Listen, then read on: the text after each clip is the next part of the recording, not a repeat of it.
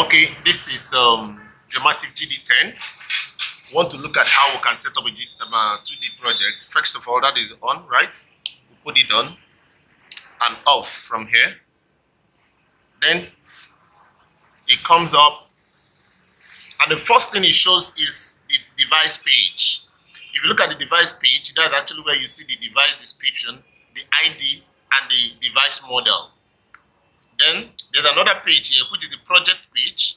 The project page shows all the projects you've actually downloaded into GD10. Then you have a script page. The script page shows the kind of scripts that actually installed or you've actually downloaded into the GD10 system. Then F4 button, as we go on, it has F4 button, F5, and F, F6. As we go on, you will see the, the importance of the F4, F5, and F6 button. Then this is the light button, this is go back button, then this is the book button, this is page, page up and page down button. First of all, let's look at this. Then look at this knob. Knob here, you can use this to rotate and press down. You can rotate front and back, and you can also press it. Okay, let's press this and see. When you press the knob, it's like go. Then you see from this knob, you can see you can toggle up and down then this shows you the device description, dual electric work workstation. Then this shows the device model, the serial number, the hardware versions, the software version, digit format, and all that. With From here, you will see everything, the property of the workstation. Okay, here, this is the environment. The environment shows the kind of um, location you are working on. You can change your GPS position on the environment and the kind of cable you are using, you can actually choose the cable you are actually using. If you are using 12 dual takeouts, 24 dual um, single takeouts, or 30 single takeouts, you can actually do that here. Then you can go back, then weather, wind temperature, humidity, and all that can be set here. The auto stacking is actually on 10. Self-checking is closed. So you can change all that here. Then texting, this you can actually, if you um, uh, connect your cable leaders, that is your switchers, you can also text them here, but they are not connected right now. So we can go back. Then this project here, project page, is where you see all projects you've actually downloaded. You can see different kind of projects that are actually installed here. So if you click any one, for example, test projects, you will see um, um, the projects there. Let's go back and look at um, uh, a project we've actually done here. For example, if you open up here, you will see the name of the project, the location it was done, date and everything. Then if you click 2D lists, you will see all the work that was done inside this project. It means that this project holds about 10 kind of surveys from 1 to 10. If you want to view one, any of them, you click on it, then you can see details.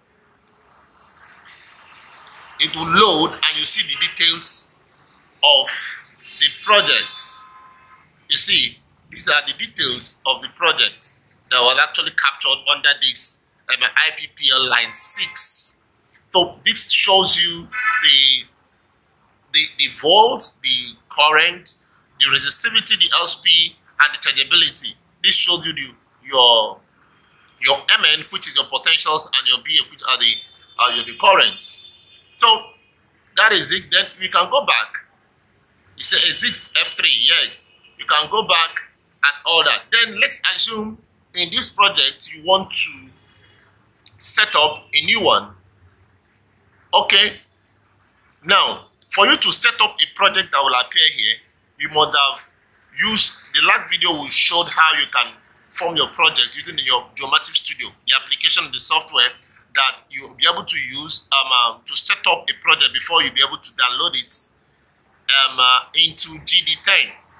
Now, let's assume you've set up a project and it's downloaded as this project name. Let's choose anyone here.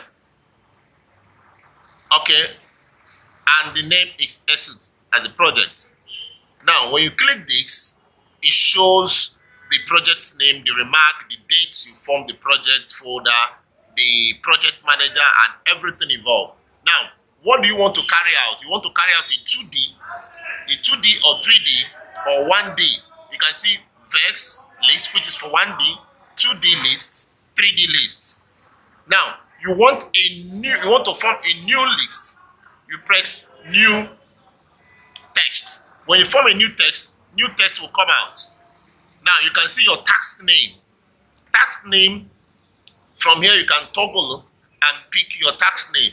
Assume you want your task name A, B. You come down here, you know, you come down here,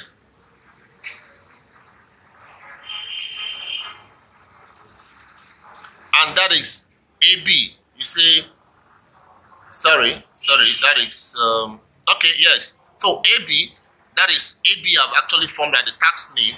The project name, you cannot change it because this has actually been done in your application. So you've actually formed the project name as ASUT. Then your GP position, GPS position, when you press GPS position, it can search on its own automatically. Then the method you want to use, you need to choose the method. What method are you using? Are you interested in resistivity or IP, either 1D, 2D, or whatever? So you can choose it here. In this case, we assume that we are working with IP2D. Then what kind of cable are you using? Conventional IP mode. You can choose that. Then what method um, uh, of array? Sorry. What method of array do you want to go into? So here you see different configurations. You can choose from the configurations you are working on. You can see it can support so many configurations, the Wenner dipole, dipole pole, the dipole dipole Schlumberger, and all that. So let's choose dipole dipole. It will load the configuration for dipole dipole. Now, so it's loading. So it's loading data. So you wait. It actually finished loading. Then the next one is the scripts. This script is based on if you want to use already installed script, which is the standard script, or the special script you've written, it will be found here.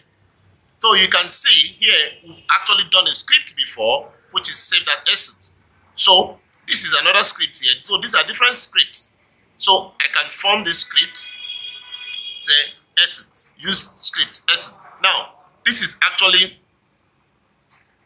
done using a, the Geomative application before being installed here. You can actually revisit our last video to see how you'll be able to form your script using Geomative um, uh, Studio. Then you can see skip electrodes. This means how many electrodes do you want to skip at the start of your work? Do you want to skip anyone or do you want to actually continue from zero electrode? So if there's no one you want to skip, leave it at zero. You want to skip, you want to start at one and end 12. In this case, we are using 12 electrodes. In this, but this system can use numerous number of electrodes depending on the accessories you've acquired. So here we use 12 electrodes at once. Then start layer. The layers will start from 1 and end at layer 7. It means that for this 12 electrodes, it's going to build 12 um, it's going to build about seven layers for the 12 electrode. Then roll along means, for example, if you don't have enough cable, you can do roll along and it will still continue reading from where you stopped. So here we don't do roll along, we said no. So stacking, you can say stacking, sorry, stacking as scripts. You can say a script, that is according to the script you've done there. Then electrode spacing we are using here is 5. You can use 10 depending on what your configuration looks like. These are other things you can actually fill in sample intervals, operator, quality, and all that. So if you are through with that, you can press this is your save here. You can say save. It says save in place. So create successfully. Now, it's trying to tell you that it has actually created form for you to get ready to acquire your data. Then what do you do? You do details. Press detail. When you press the detail here, you see everything going on. You can see all the forms. It means that it is ready to acquire the data. So that it does it, then you can continue acquiring. let's assume that this is actually um, uh, in the field now. We can say acquire, you know, you can see, you can start acquiring your data. So that is actually how you can you can set up you can set up your 2D form for data acquisition. In our next subsequent one, we can tell you how you can check your grounding, how you can do your section graph, profile graph, and other IP graph using the mainframe. Thank you. Have a nice day.